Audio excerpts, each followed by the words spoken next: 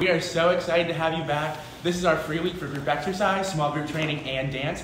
Small group training and dance registration closes on February 2nd. And if you love the classes that you go to this week, buy the group exercise pass online at recsports.vt.edu. Yes.